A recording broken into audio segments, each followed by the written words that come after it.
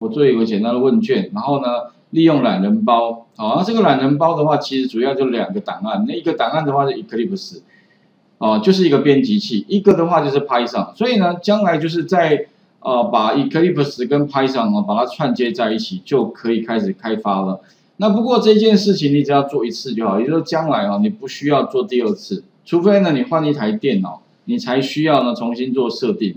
那接下来你需要做什么呢？哎，就开始建立专案，然后呢，专案建立好之后呢，在专案底下呢，再建一个模组，就可以开始写程式了，啊，大概是这样。所以以后的话，我们可能前面的那个设定环境就就就不再这个多就重复讲了哈。基本上呢，请各位哈，待会先检查一下你的低碟，因为呢，在我们低碟底下哈，理论上应该没有还原。那如果没有还原，你应该会有上个礼拜的这个东西叫 Eclipse Python 哦，就这个。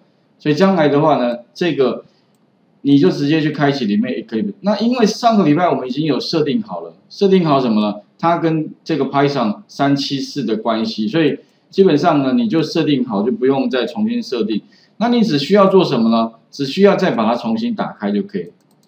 打开之后的话呢，哈，再把它执行。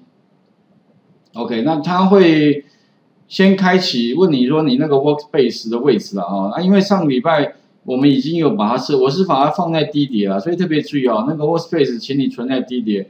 如果你把它存在 C 碟的话呢，那又不见了，OK，又要重来。所以建议呢哈，你就把它放 D 碟，然后呢，哎，指向哪里呢？指向那个叫 Python 的那个 Workspace。那我们来看一下，基本上呢，我的 D 碟底下有没有这个这个目录？其实其实基本上哈，它就会有一个什么一个目录啊。放在哪里呢？放在你的第一碟，所以呢，这个目录底会放在这边第一碟底下，会有个目录叫 Workspace，哎，所以呢，将来你的专案都放这里面。那我们上礼拜有建一个 Test 的专案，所以它底下会有个 Test 的资料夹。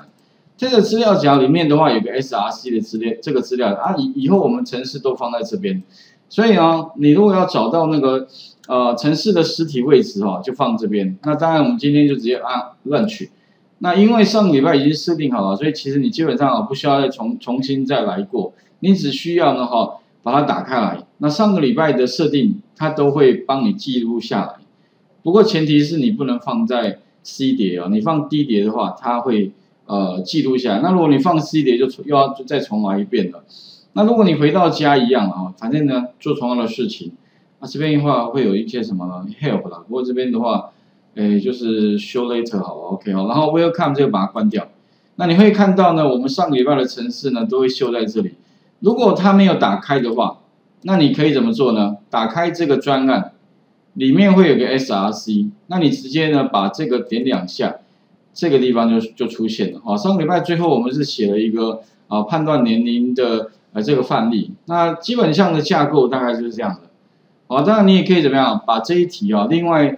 再把它改写，呃，请输入成绩。然后呢，如果它是这个八十分以上到九十分就 A，啊，再来呃八十分到七分是是 B，啊，然后呃七十分到六十分是 C，不及格的话是 D 的话，其实呢，如果你要改写了，甚至你根本哈可以不用写任何，其实有的时候你可以拿范本，像这一题啊，你要把它改成输入成绩的话，也非常简单，你可以把这个哈。这个模组怎么样？要不就是你先 new 一个，new 一个新的什么呢？新的 module，哦，然后怎么样呢？来把这边的程式贴过去改。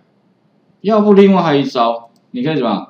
把这个 h 有没有？这个模组按右键哈，它这边有一个叫做诶 copy 有没有？这边可以可以把它砍，Ctrl C 也可以了哈，复制。然后呢，再到这个 SRC 上面，你可以把它贴上。不过它会贴上说啊，那你这个专案呢，要叫什么名称？它会把这里面的模组所有的程式都贴啊。比如说我要判断成绩啊，比如其实这边打中文打英文都可以。也比如说我要打一个成绩啊，假设范例名称叫成绩好了，那你按一个 OK，那你会发现呢，这个地方会多一个什么？多一个啊模组，也不不需要 new 哦。有时候其实如果你要拿另外一个模组来怎么样当范本的话，哎，也可以用这个复制贴就可以了。然后你只要把它打开来。这个时候的话，各位可以看到哈，那这个模组就被打开了，有没有？不过呢，你会发现打开之后呢，它里面的程式哈是上个礼拜那个判断什么呢？判断那个年龄啊，其实你可以吧，把把它改一下，比如说什么改，请输入什么，输入乘积好了。OK，好啊，假如说呢，大于哎，比如 h 大于大于等于啊，大于等于什么了？哎，八大于等于八十的话，对吧？大于等于八十，那我就输出 a，OK，print a。那如果我说它介于什么呢？哎，介于这个八十分，哎，这应该要改一下方向，应该是小于八十分，而且是什么？大于什么呢？大于，呃，应该是七十分的话，啊，那我就给它 B 啊，剩下以此类推，好，然后这边也是一样改了。不过我发现这样拿这个好像这样改会比较快，拿这个来改，对吧？这边的话呢，那大于的话？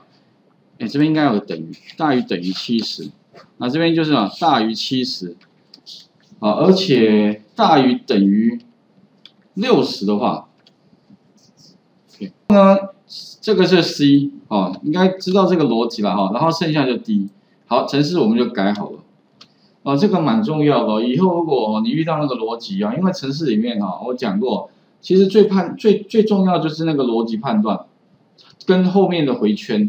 哦，这两者的话哦，用到的机会会非常非常的大哦，应该可以看懂的意思了哈。这个可能除了要知道会懂看得懂之外哦，还要熟练哦。因为以后哈，你的只要你处理资料的话哈，几乎都会用类似像这种筛选的方式过滤嘛。反正你就是帮分门别类，比如说你一个 data 从网络上从资料库或者从各各个地方档案捞进来资料的话。那一定会利用回圈，再透过这种逻辑判断，把这个该放资料的地方放在应它应该放的位置里面。当然，也许丢到资料库，那你要把它分门别类的话，哎，这个时候的话就需要哈，类似用这种回这种这种逻辑判断。好，那改完之后的话呢，我们就可以来做执行。所以你把它 save，然后这边有个 run 然后上个礼拜讲过嘛，你可以在 run，然后 run as 这个用 Python 去 run 它。那请输入成绩。假如说我今天输入九十分的话，那 Enter 的话应该要得到什么？应该得到 A 才对。有没有看？是不是 Enter 是不是就得到 A 呢？哎，没错。哦，啊，那你可以什么？再去 run 一下。这边的话给他五十分，那是不是 D？OK，没错。OK，好，所以应该懂我的意思吧？哈，所以请各位呢，先把那个上个礼拜的环境先打开，然后呢，也许哈，你就是在我刚刚是直接拿这个复制 copy。然后直接在这个 src 上按右键，直接贴上，哦，然后改一个名称叫乘积，但它的副档名一定是点 py 了哈。然后呢，就是拿这个做一个简单的修改，OK，好，逻辑大概是这样。那其他的话，我建议啊，你如果还有别的工作上会遇到的，或者是生活上会遇到的话，你也可以多多练习。好，那今天的话呢，我们就要延伸这样的一个逻辑判断哦，啊，把它改成什么？改成所谓的那个。呃，BMI 哈，那我们云端白板里面有有有秀，这个在第二个单元，然后或者是说你 Google 这边打个 BMI 可以，BMI，Enter，哦，你打 BMI 哈，这边第一个就是了。其实我是拿第一个这个这个来参考的，对吧？啊，其实逻辑跟这个还蛮像的，输入身高，输入体重，得到 BMI，并且会秀出什么呢？到底是不是在正常范围？或者是说它是啊什么呢？过轻啊，或者是异常的话，还有肥胖的问题。OK，好，那这部分的话呢，把画面先还给各位哈，试一下这部分。